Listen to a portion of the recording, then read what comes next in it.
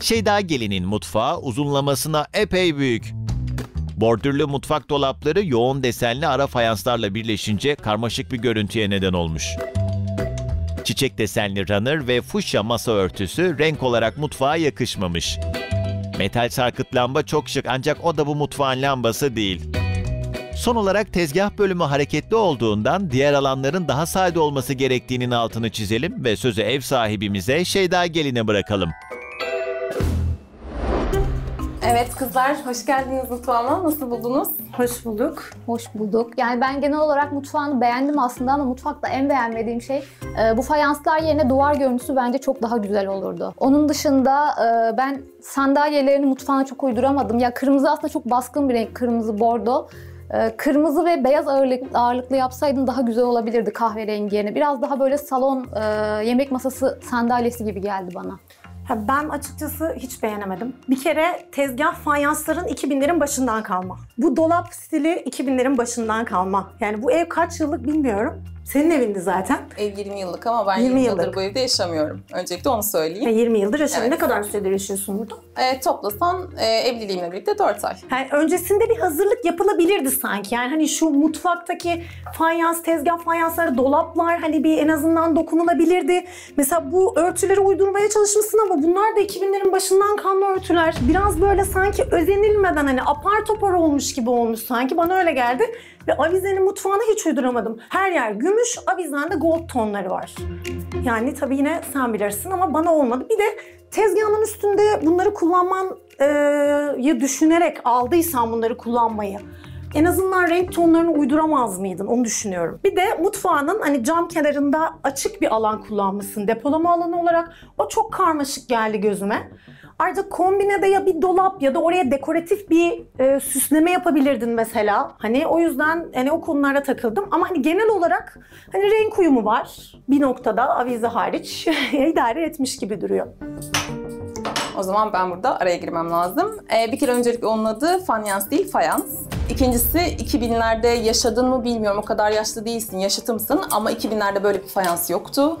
Üçüncüsü e, ben bu eve taşınmış olabilirim 3,5 ay önce ama e, bu bina 20 yıllık bina ki e, şu anki mevcut kullanmış olduğumuz imar yasası gereği ben kafama istediğim gibi bu evi yıkıp döküp istediğimi yaptıramam. Çok güzel bir noktaya değindim. Benim kız kardeşim mimar. İmar yasasına göre evin içerisinde mesela odalar arası müdahale edemiyorsun. Yani iki Evet. odayı birbirine duvarı kırıp birleştiremezsin mesela. Evet. Ama mutfaktaki fayansını değiştirebilirsin, dolaplarını değiştirebilirsin. Bunun imar yasasıyla bir ilgisi yok yalnız. E, 2000 öncesi yapımı bina olduğu için ben burada yapacağım en büyük değişikliklerden en küçük değişikliklere kadar izne tabiyim. Bunun dışarısında e, izne tabi olmasam bile bu e, fayans kırma, fayansı yaptırma bunların hepsi bir ekstra maliyetli, iki çok fazla vakit alıyor, üç düğün öncesi asla yetiştirebilir ürünler değiller. Dolayısıyla kullanışlı olduğu için ben kayınpederimin zevkine güvendim ve kullandım. Gayet de memnunum mutfağımdan. Ayrıca e, bordo renkler ve krem renkler, daha doğrusu sandalyemin renkleri fayanslarımın şeritlerinde olduğu için kullanmaya devam ediyorum. E, bu yüzden e, eleştirilerine teşekkür ederim ama ben e, renkleri zaten birbirine uydurarak seçtim aslında. Düğünden önce bunu yapmaya kalktığın zaman çok büyük bir masraf olabilir. Sana uzun bir zamana da mal olabilir. Ama mesela benim kendi evim vardı. Kendi evimi tadilata vaktim yok diye kiraya çıktım mesela. Daha şık bir evde, daha tasarlayabileceğim, kombinleyebileceğim bir evde. Aynısını sen de yapabilirdin ama tabii senin tercihin. Sen de bir şeyler eklemek ister misin Şeyma? Dış ses benim bir yorumum daha var. Ee, Benim mutfakta en beğenmediğim şeylerden birisi de çamaşır makinesi. Ee, Hem görüntü olarak çok hoşlanmıyorum hem de hijyen olarak bana çok mantıklı gelmiyor. Ya ev kendinin olduğu için onu başka bir yere alıp orayı ekstra e, dolap yaptırıp ekstra bir depolama alanı olarak kullanabilirdim bence. E, tekrardan e, yani yorum için ben memnunum. Aslında şöyle ben de evet bu e, görüntüden ziyade hijyenden dolayı çamaşır makinesinden memnun değilim. Fakat e, ne yazık ki içerideki banyomda ona ilişkin bir tesisat yapılmadığı için kullanamıyorum. Dediğim gibi ev 2000 öncesi yapımı olduğu için birçok şeyi Ya en azından bir dolapla falan kapatabilirdin bence. Görüntü olarak hoş durmuyor E, çünkü. dolapla da kapanmıyor çünkü 9 kiloluk alan yok orada. O yüzden e, yani kapatsam e, kapaklar çok dışarıda kalacaktı. O yüzden yüzden kapatmamayı tercih ettim. Yani büyük de çamaşır makinesi almak zorundayım yani. O yüzden e, orası en fazla zaten 5 kiloluğa falan çok eskiden yapıldığı için 5 kiloluk bir alan Aslında zaten. haklısın bu arada. Kombinin altına bir alan yapılabilirdi. Evet. Orada bir alan var yeterince. Yani orada bulaşık makinesini kullanıp kombinin altını değerlendirebilirdin. Ve hem estetik hem hijyen açısından sana katılıyorum ben de. Kesinlikle. Orada boş alanın olduğu için bence de oraya koyman daha Yani- mantıklı olabilirdi. Balkon alanını kapatmışlar çünkü balkonun yok mutfakta. Evet. O alanı mutfağa dahil etmişler. Bu sana ekstra bir depolama alanı katıyor. E, teşekkür ederim yorumlarınız için. Diğer kızları da bekletmeyelim. Onları da alalım. Ne demek? Bize Biz teşekkür, ederiz. Mutfağın duvarlarının fayans olmasını asla beğenmedim. Tamamen bütün mutfağın güzelliğini bence gölgelemişti. Ee, evi kendi evi zaten kira değil. O yüzden daha farklı şeyler yapabilirdi, değiştirip dönüştürebilirdi. Özellikle çamaşır makinesinin mutfakta olmasına hiç hoşlanmadım. Hem görsel olarak hem de hijyen olarak bence asla orada olmamalıydı. Evet kızlar buyurunuz. Tokman sesini duydunuz. Evet, önce şöyle bir inceleyelim. Diğer arkadaşlarımız fayanslara bayağı laf etmişler ama tabii yeni evli çiftsiniz bayağı zorluklar, imkansızlıklar olabiliyor. Fakat ferahlatabilirdik diye düşünüyorum. Hani beyaz eşyalar beyaz olsaydı belki mutfak daha büyük görünürdü. Örtü de aynı şekilde e, beyaz olsaydı yine mutfağı açardı diye düşünüyorum. Rengi o kadar takılmadım. Tabii hani bir tık daha açık olabilirdi bence.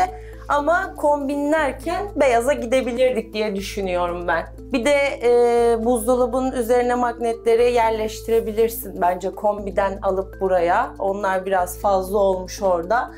Sonra orada çiçekleri çok severim fakat mutfakta ufak sinek yapıyorlar bende. Ben o yüzden kullanmıyorum. Tabii bu senin tercihin yani. Benim yorumlarım şimdilik bu kadar. Ee, şimdi şöyle, oradaki magnetlerin hepsi benim eşimle birlikte gittiğim, ziyaret ettiğim yerlerden alınan magnetler ve içerisinde e, Çin'den vesaire gelen hani eşimin müşterileri tarafından gönderilen hediye olan magnetler var. Ee, diğer magnetler ise kıyamadım atmaya, kayınpederimden kalma ve kayınvalidemden kalma. Ee, rahmeti de o yüzden duruyor orada. Yani kıymak istemedim atmak için. E, çiçekler de aynı şekilde kayınvalidemden hatıra. E, gerçekten şöyle, onlar da ferah bir alanda durdukları için hiç sinek sorunu yaşamadık. Aksine böyle hep görsel olarak e, çok daha güzel bir görüntü verdiler. Bir de dediğim gibi çok bakımı çok kolay çiçekler. O yüzden seviyorum onlara bakmayı. Ee, ben de ilk önce arkadaşlarımızın yaptığı yorumlar gibi e, dolaplarda kırmızı hiç olmamış. Mutfakta çok abartılı oluyor bence. Çamaşır makinesi mutfakta olmamış. Bir alanın varsa oraya koyabilirdin. Ee, bir de e, mutfakta kombinin üzerinde gemi ne alaka? Yani her yerde zaten magnet göz yoruyor. Bir de gemi mutfakta hiç olmamış bence. E, şimdi yine araya gireceğim. E, yine kendisi kayınpederimden hatıra. E, o yüzden ben onların olabildiğince e, durmasını istedim.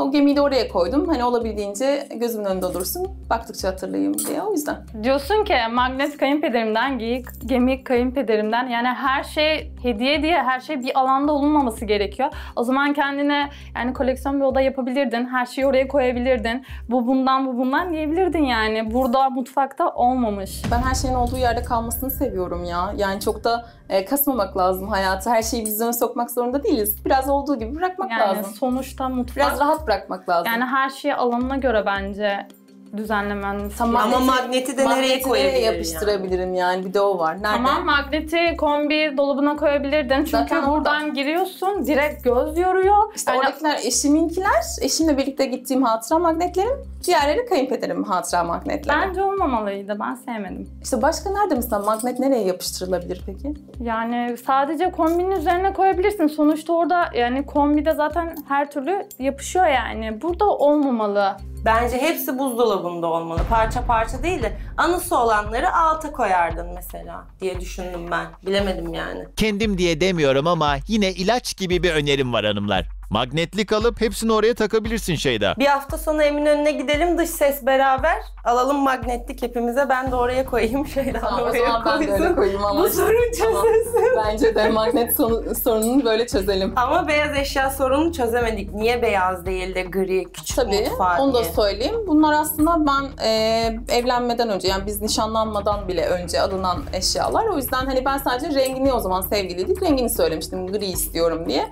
Bu eve geçeceğim bile belli değildi. O yüzden çok da abeste durmadı mutfağımda. Benim gözümü hiç yormuyor. Aksine böyle bütünmüş gibi duruyor. Çok da rahatsız olmadım açıkçası. Önceden çeyiz düzmek de yeni moda oldu. Bilmiyorum Ne yani. zaman düzelim çeyizdi? Eve girince, Eve- eve göre. Eve girdikten E sonra zaten ev sizin bir daha değiştirme şansınız yok.